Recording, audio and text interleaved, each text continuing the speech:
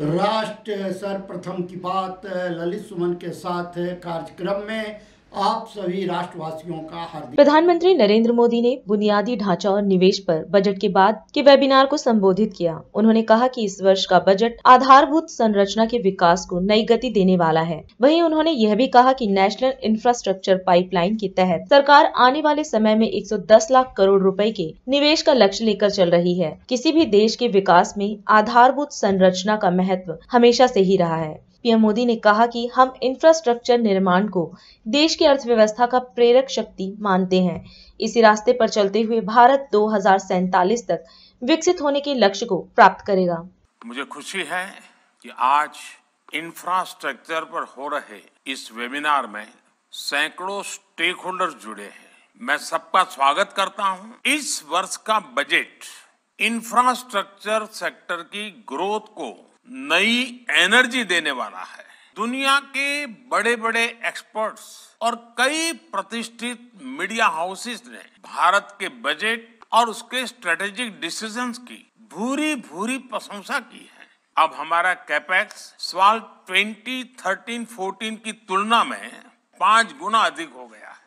National infrastructure pipeline के तहत सरकार आने वाले समय में 110 लाख करोड़ रुपए इन्वेस्ट करने का लक्ष्य लेकर चल रही आज नेशनल हाईवे का एवरेज एनुअल कंस्ट्रक्शन 2014 से पहले की तुलना में लगभग दो गुना हो चुका है। अगर हम एयरपोर्ट की तरफ़ देखें तो एयरपोर्ट की संख्या भी 2014 की तुलना में 74 से बढ़कर के 150 के आसपास पहुँच चुकी है, यानी डबल हो चुकी है। साथियों, हम इंफ्रास्ट्रक्चर निर्माण को देश की इकोनॉमी का ड्राइविंग फोर्स मानते हैं। इसी रास्ते पर चलते हुए भारत 2047 तक विकसित भारत होने का लक्ष्य को प्राप्त करेगा। अब हमें अपनी गति और बढ़ानी है। अब हमें टॉप गियर में चलना है और इसमें पीएम गति शक्ति नेशनल मास्टर प्लान की बहुत बड़ी भूमिका है। Gati Shakti national master plan Bharat के इंफ्रास्ट्रक्चर का, भारत के मल्टी मॉडल लॉजिस्टिक्स का कायाकल्प करने जा रहा है। ये इकोनॉमी और इंफ्रास्ट्रक्चर प्लानिंग को डेवलपमेंट को एक प्रकार से इंटीग्रेट करने का एक बहुत बड़ा टूल है। क्वालिटी और मल्टी मॉडल इंफ्रास्ट्रक्चर से हमारी लॉजिस्टिक कॉस्ट आने वाले दिनों में और कम होने वाली है। इसका भारत में बने सामान पर, हमारे प्रोडक्ट्स की कॉम्पिटेंसी पर बहुत ही पॉजिटिव असर पड़ना ही पड़ना है। लॉजिस्टिक सेक्टर के साथ साथ ईज ऑफ़ लिविंग और ईज ऑफ़ डूइंग बिज़नेस में बहुत सुधार आएगा। ऐसे में प्राइवेट सेक्टर के पार्टिसिपेशन के लिए भी संभावनाएँ लगातार बढ़ रही है। मैं प्राइवेट सेक्टर को इन प्रोजेक्ट्स में पार्टिसिपेट करने के लिए आमंत्रित करता हूँ। साथियों, निश्चित तौर पर इसमें हमारे राज्यों की भी बहुत बड़ी भूमिका है।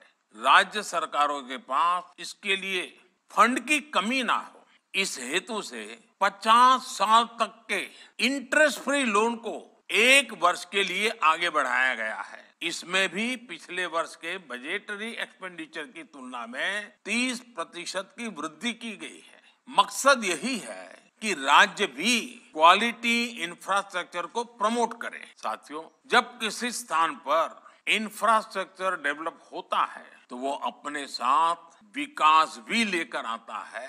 हमारा सोशल इंफ्रास्ट्रक्चर जितना मज़बूत होगा, उतने ही टैलेंटेड युवा स्किल्ड युवा काम करने के लिए आगे आ जाए पाएँगे।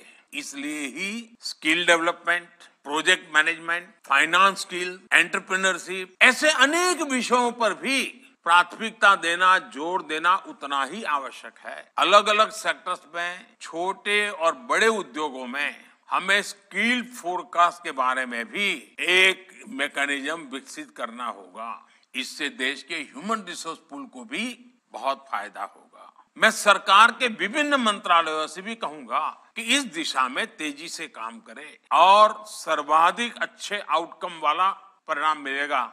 ये मुझे पूरा विश्वास है। मेरी तरफ़ से आपको बहुत शुभकामनाएँ हैं। धन्यवाद। राष्ट्र सर्वप्रथम की बात ललित सुमन के साथ कार्यक्रम में हम आपसे आज यहीं विदा लेते हैं। अन्य खबरों के लिए आप बने रहें। राष्ट्र सर्वप्रथम वंदे मातरम। जाग उठा है भारत।